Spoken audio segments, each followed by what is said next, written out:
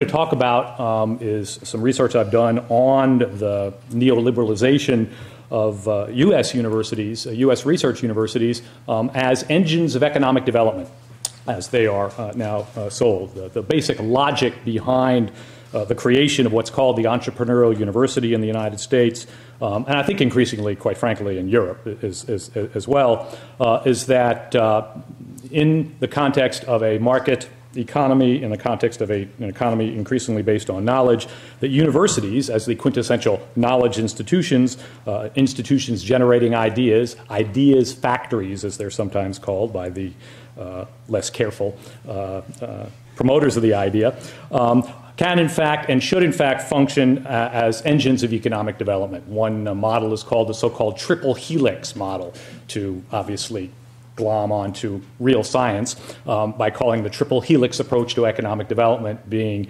uh, you know, business, industry, uh, I'm sorry, industry, the university, and government. Three layers of, of, of, of, promoting economic development as if there's some now scientific theory of how universities can, can promote economic development. But that, the idea behind the entrepreneurial university is that academic research uh, can be commercialized, technology transferred through patents, licensing, and university based business startups, and, th- and this is a sine qua non for regional economic development around the country. Um, improving the regional economic uh, competitiveness of, uh, of, of, cities and regions by forging partnerships with local businesses, commercializing university generated knowledge, is now regarded, as I said, in this triple helix model as one of the core missions of uh, the university. Indeed, there are new universities being founded in the United States that do not even have the pretense of being anything other than economic development promotion entities. Uh, in Florida, of course, these sorts of things always happen in Florida. Um, but in Florida, there's the South Florida Polytechnic Institute, um, which is basically a university to promote the commercialization of academic research and promote economic development in South Florida. But more uh, flamboyantly,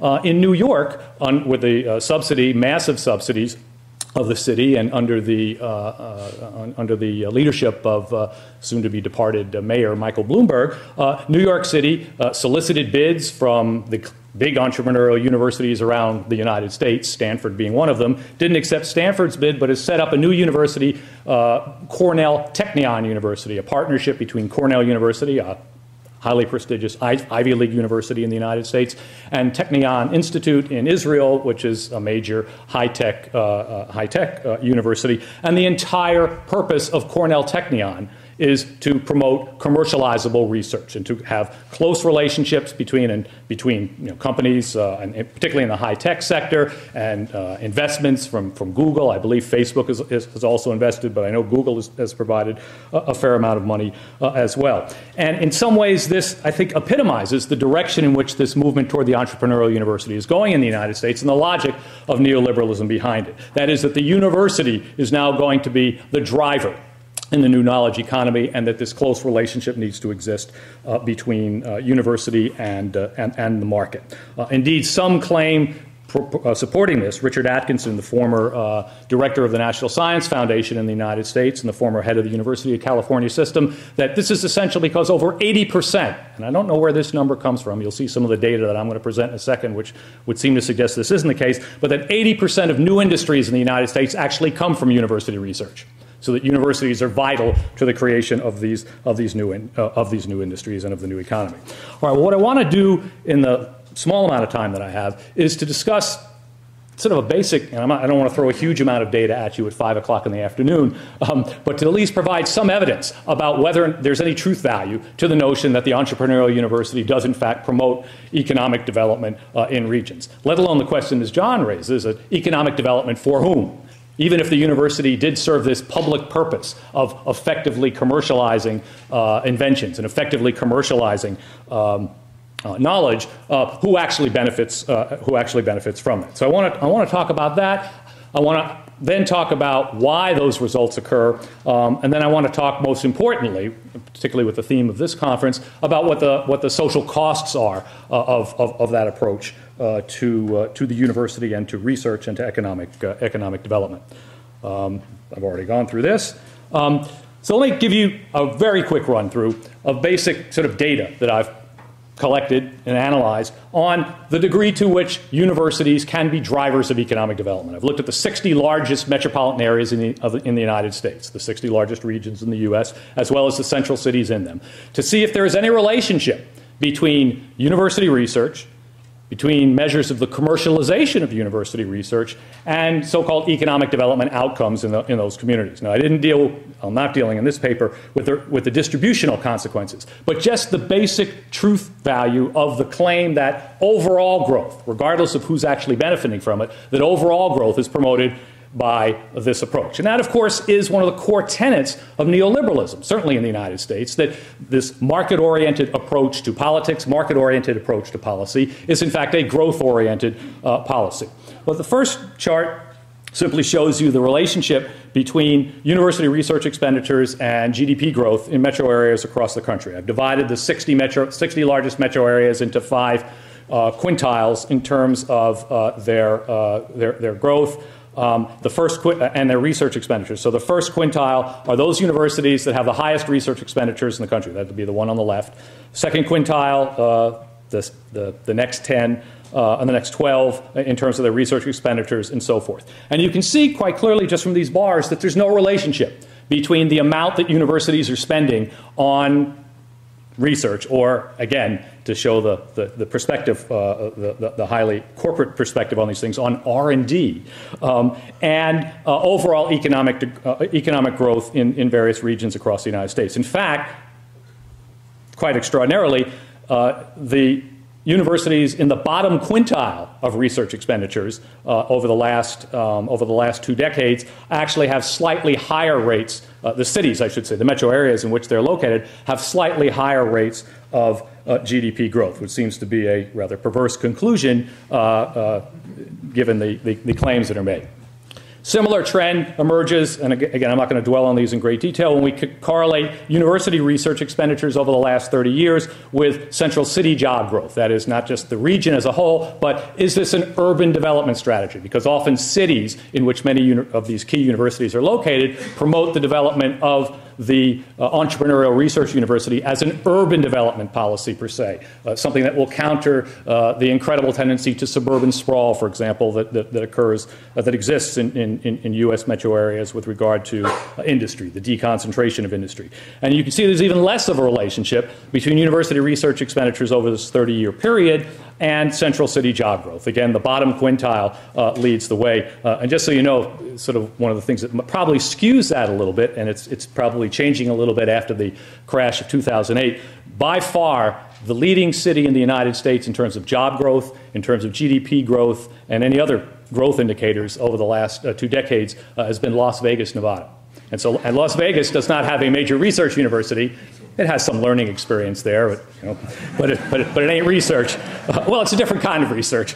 Um, and uh, so Las Vegas is at the, at, in the bottom quintile here, which is, which is uh, certainly raising, raising the performance of that quintile. Uh, but that first quintile are, you know, the universities uh, located in, in, in universities that you're quite familiar with, um, like, like Harvard, Yale, Stanford, Johns Hopkins University, uh, and the like. And you can see in that first quintile that their growth rate is, is hardly uh, consistent with what the, tr- what the claims would be.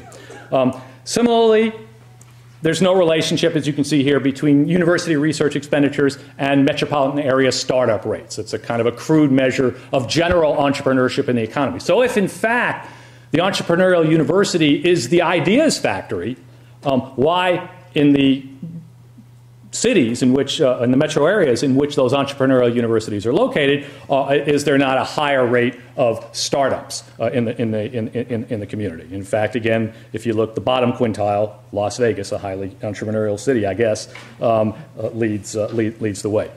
What I've also done here, and again, I'll go through, through these very quickly, are then correlating these with university commercialization indicators. All right, so the commercialization of research. The first set of charts was simply research. Universities as a research institution. This is now the true entrepreneurial test. There should be a relationship if in fact the entrepreneurial university is promoting growth between uh, indicators like patents and university startups and the like, and metro area GDP growth, et cetera, et cetera. And as you can see, as I'll run through these, uh, the same basic pattern applies. In fact, it's even, it's even more, um, it's even more stark as, as, as, you look at the lack of a relationship between uh, the generation of patents at universities um, and the promotion of general economic growth. Certainly, you would expect a generation of patents to create a, a surge in startups in various industries, in, in various communities. That hasn't happened.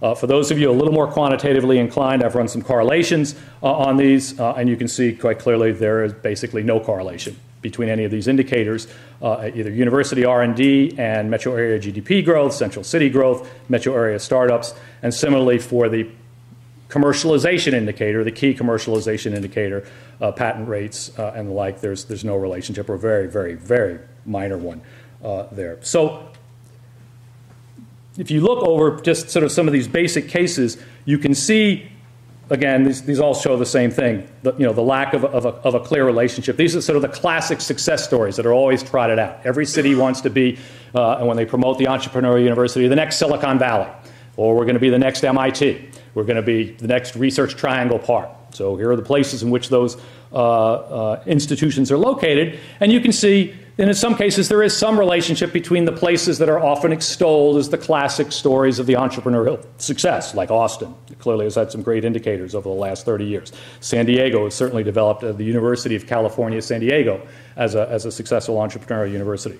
Um, but you look at the indicators in Raleigh, San Francisco, and Boston, um, and they're not particularly eye catching. Raleigh, a bit. Uh, Raleigh certainly stands out. Um, but as you'll see in a second, there are other factors that explain those economic, uh, those economic results.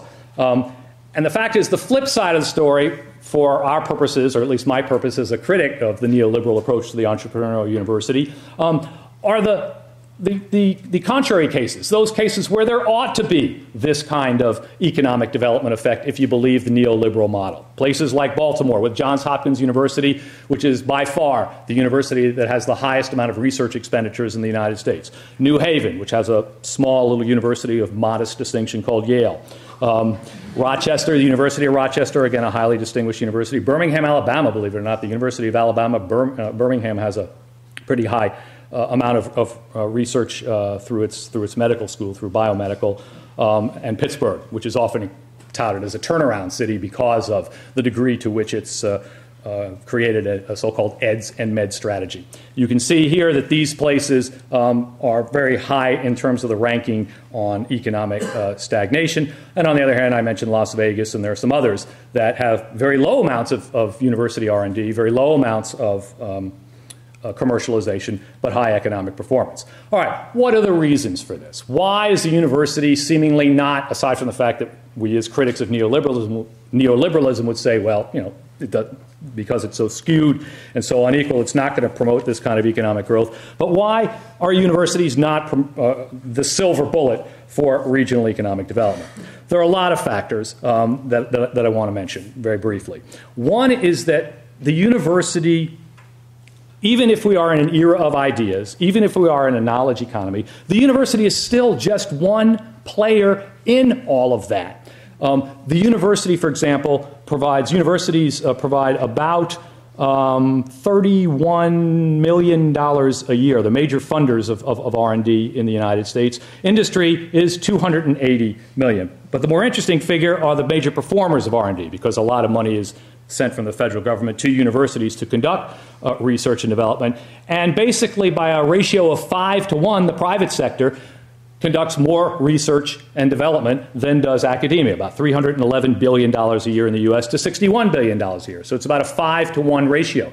So that corporations like Microsoft, uh, which spends about $9 billion a year in research, uh, Cisco Systems, uh, Boeing, about $6.5 billion a year, Intel. There are a number of these companies that still spend extraordinary amounts of R&D. The highest amount at a university that spend is $2 billion, Johns Hopkins University. All right? So one thing to understand is that the university as a, simply is a small cog, I guess I would say, in the overall economic development machine. Secondly, and related to that, universities, even as they have increased since Bayh-Dole and other neoliberal policies to encourage this kind of entrepreneurship, universities nevertheless produce a trivial percentage of patents and startups in the United States. Uh, it's actually been quite stagnant over the last 10 to 15 years, um, even as universities have increasingly devoted uh, greater and greater amounts of their resources to uh, the entrepreneurial activities. They produce, uh, universities produce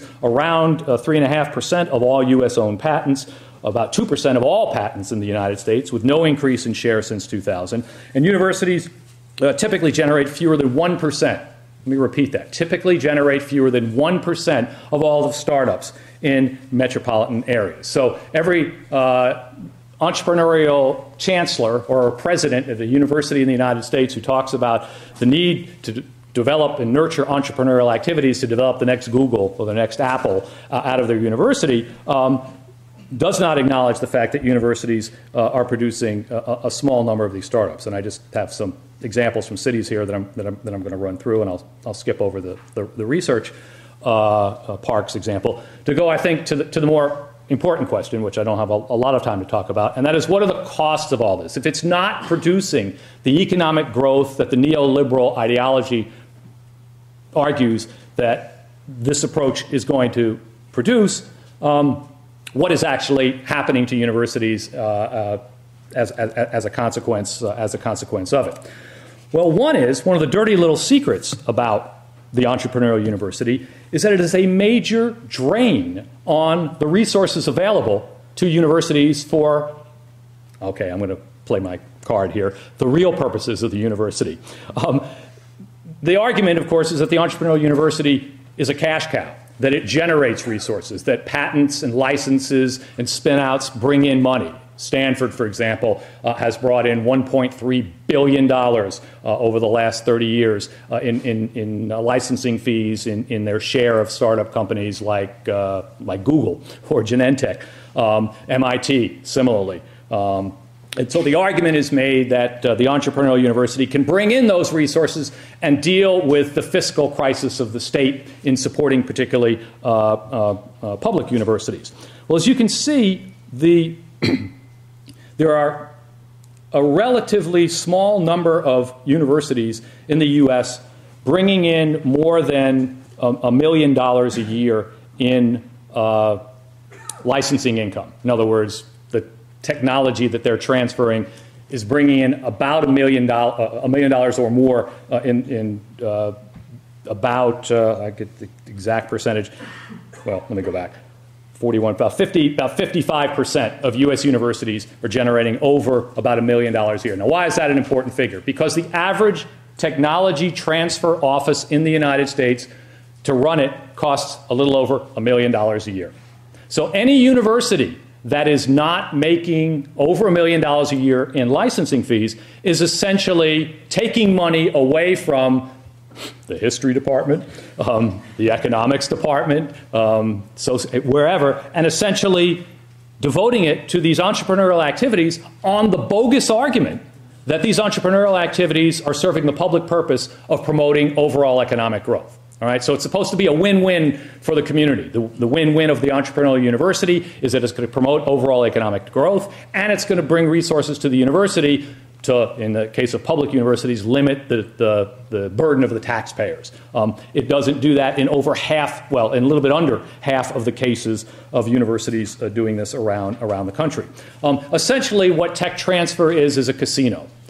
In fact, I love John's point about the university becoming the microcosm of the larger societal inequality, and you can see it in the, in the, in the share of resources that are garnered from, from tech transfer. Um, the top five universities in the United States, that's five universities, garner 43% of all of the licensing fees in, in any given year, or in, in the most, give, most recent given year, uh, 2011. The next 10 garner 29%. So 15 universities pull in 72% of all of the uh, uh, tech transfer revenues uh, in, in, in, the United States.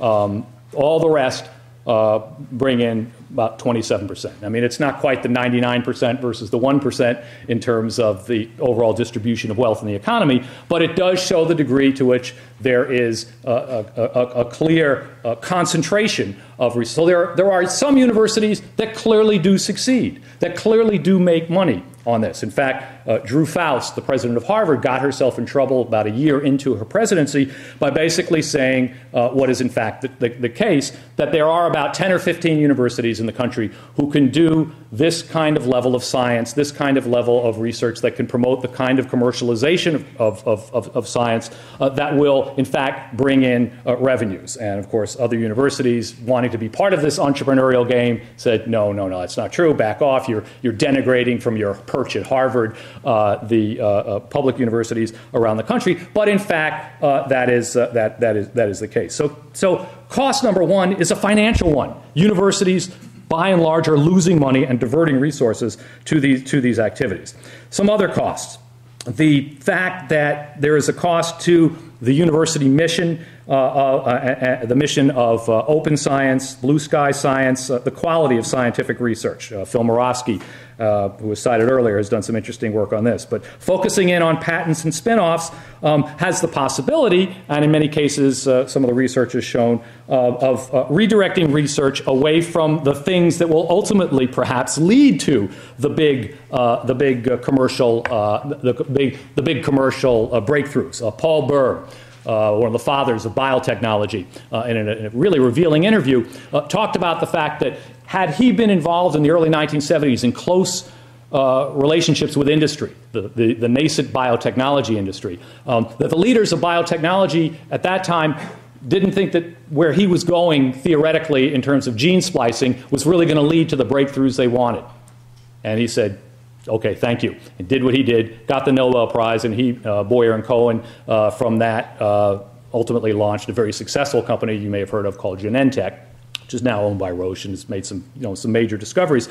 Berg's point, though, was that science requires distance. Science requires scientists following their noses. Science requires so called blue sky research, and that ultimately that will perhaps produce major commercial, uh, commercializable research, but that the close relationship actually is somewhat antith- uh, potentially antithet- antithetical to that. Um, so that the injection of the profit motive into the scientific research process may, in fact, in, uh, distort the kinds of questions that get investigated and degrade the quality uh, of, uh, of, of results. The other potential cost, a major cost, um, is, you know, let's, let's call it what it is, outright corruption of the academic process. The fact that you have a close relationship with private uh, sector uh, individuals, private sector corporations um, who have a vested interest in your research has led to a raft of revelations over the last uh, decade of scientific fraud, in the interest of obviously uh, commercializability, um, ghostwriting of journal articles, which has become, uh, you know, particularly in the biomedical field, uh, rampant. The establishment of quote unquote research institutes, such as an institute at McGill University on uh, asbestos, which demonstrated that the purported harm of asbestos was really exaggerated, funded by the asbestos industry. Um, a fracking institute set up at the State University of New York at Buffalo, funded by uh, you know, hydraulic fracturation, right, the uh, shale gas uh, industry, to demonstrate that that's really a safe practice. Um, faculty rose up on that and actually got that, uh, that institute uh, disestablished. Penn State University established one as well. BP established an institute at, uh, at, at, Berkeley, which caused a, a, a, a whole bunch of, of, controversy. This has become an increasingly common, uh, common problem at universities. And so the question, obviously, of the degree to which the research gets uh, corrupted is important. All right, let me get a final point. I probably only have two, three minutes, right? Um, if these university partnerships, if the privatization of uh, research, if the entrepreneurial process isn't generating the large growth that um, is purported uh, to, to be the case by advocates. Um, if, in fact, there are these obvious costs in terms of the financial costs at the university, in terms of the, the, the integrity of research uh, and, and, the like, um, why is it such an unstoppable movement? Um, and maybe that's a stupid question to ask given the discussions that we've had about the nature of power and neo- neoliberalism and the like. But I'd like to at least spend a couple minutes outlining for you the, I guess I would call it if I wanted to get somewhat technical and, and push the argument a little bit, um, a rent seeking coalition. That is, individuals who, in economist terms, want to establish a regulatory framework or a policy framework in which they can, uh, rather than generating true value, extract rent uh, from policies. And there is, I think, a, a, a rent seeking coalition that makes the, university, the entrepreneurial university a very powerful uh, force indeed. Uh, a certain ideological contagion, as I, as I call it, uh, from research commercialization. First of all, there are obvious promoters and lobbyists, people who make money from this. Uh, the Association of uh, University uh, Technology Managers, people who work uh, in tech transfer offices uh, across universities. The Association of University Research Parks. Um, they have a vested interest in saying these are major economic development uh, major economic development benefits. So, tech transfer managers and administrators. University administrators increasingly make their careers as economic development managers. Um, presidents and chancellors, there are now vice chancellors for economic development, actually, uh, at, at most universities uh, in the United States. Part of the coalition are clearly entrepreneurial scientists. People saw that Boyer and Cohen made millions from Genentech, um, and uh, that uh, scientists can, in fact, uh, score big, uh, big, big amounts of money. Regional corporate leadership, which pushes the so-called alignment of the entrepreneurial university with the regional economy, pushing it not only in terms of research, but also in terms of curriculum uh, and, and the like. And then a larger group of players that are sort of fairly obvious. So the biotech and, and big pharma industry uh, that can get highly subsidized research from the universities, patent lawyers who make a lot of those fees that cost tech transfer offices over a million dollars a year, and uh, politicians who want to claim credit for uh, what, what they call uh, economic development. And maybe this all came together to me in, in sort of one symbolic moment, uh, a meeting uh, in Washington, D.C. Uh, early last year of a new organization called the President's Investors Summit, in which coming together to discuss universities and what they should be doing are presidents of universities, other administrators specializing in economic development, venture capital funds, um, local corporate, uh, potential corporate partners, to basically talk about the university as a place to, you know, in some place divvy up shares and to make investments and to, and, and, and to look, at, uh, look, at, look at futures contracts. And so consequently, um, you have a situation where the evidence is fairly overwhelming that the entrepreneurial university doesn't promote the benefits that are purported, that it does have substantial costs to local communities, but there is an unstoppable coalition. Um, and unless voice or some of the other mechanisms that have been talked about earlier uh, are, are, are, put, into, uh, put into place, uh, this is in fact going to be uh, the continuing future of the American university. Thank you.